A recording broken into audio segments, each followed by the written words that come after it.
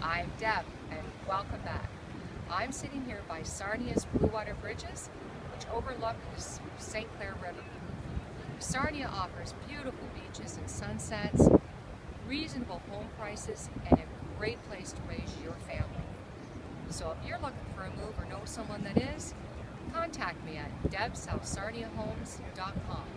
And remember, double S, I'll look forward to hearing from you.